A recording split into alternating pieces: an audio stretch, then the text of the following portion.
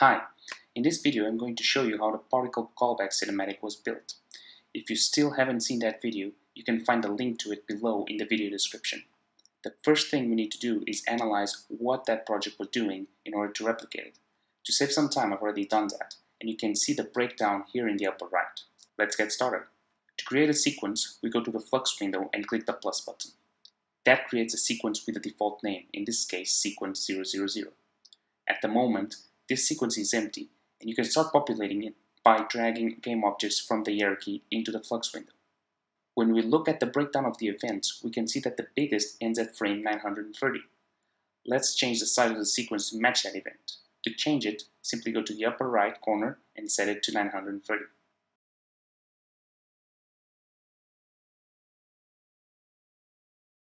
Now let's start by dragging the cam intro object into the sequence. This creates a timeline.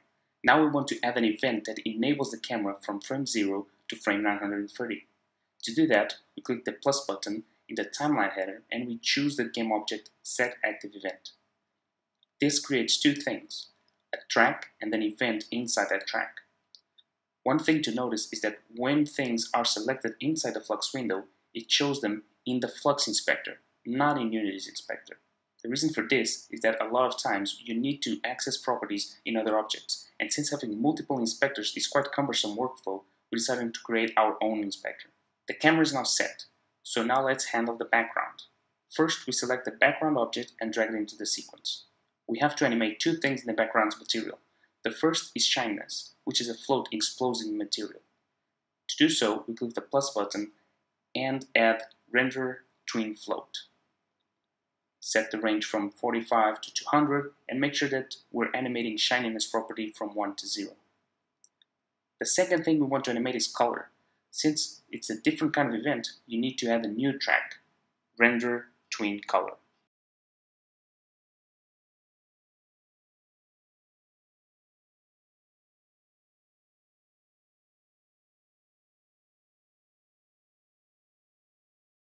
Now, we copy the color value, making sure that we want to go from opaque to transparent. We leave the property as color, since that's the one we want to animate. Let's see how it looks.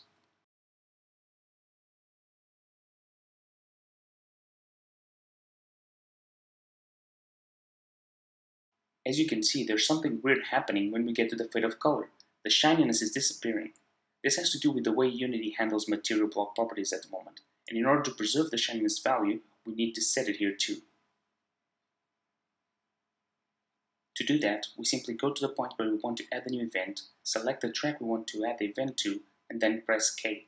This sets a new event on the track at the point where the scrub line is. Now we simply set the values, and you can now see it work fine.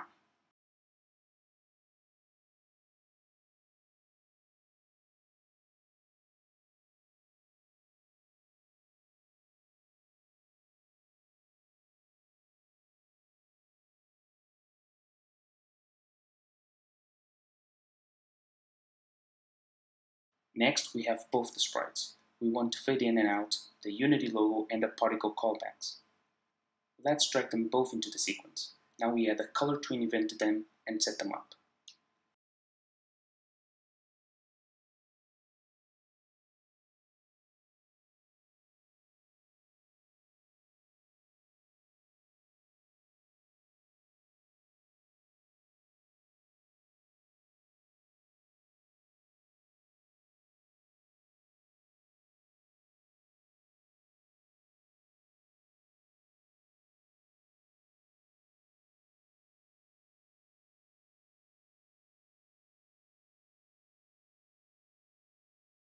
When we select both tracks and hit K, this will add another event for both of them.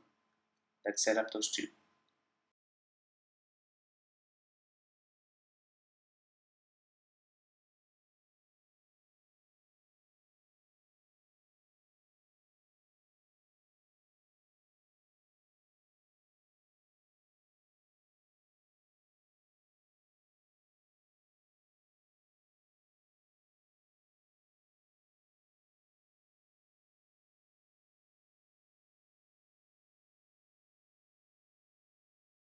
As you can see, now the sprites are animated.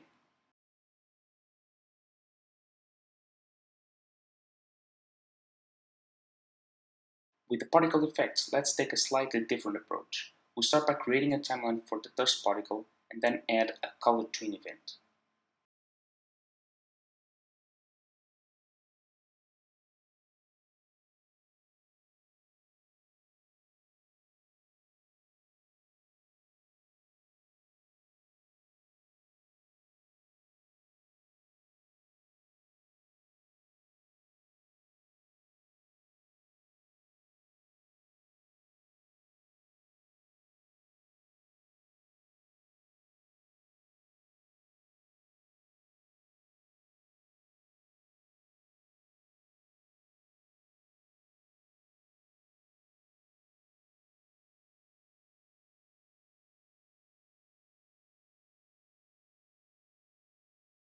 However, if you scrub at the moment, you can't see the particles running.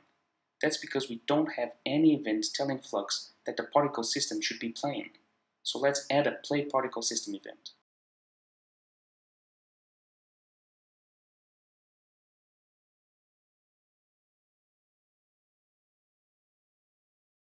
Now scrubbing shows the particle system animating.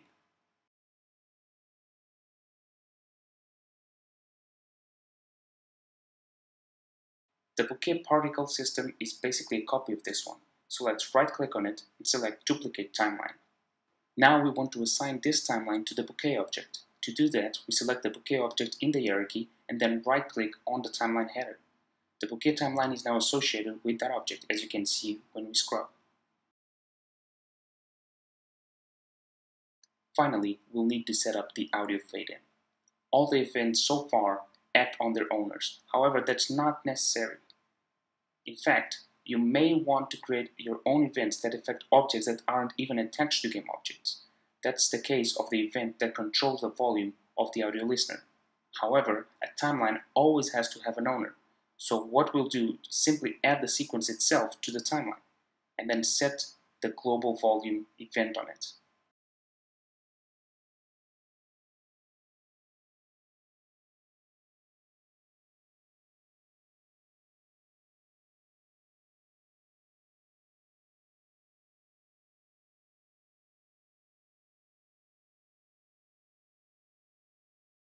With this last step, our sequence is finished. For the sequence to play automatically, we have to toggle on the play on start, otherwise it will have to be triggered manually.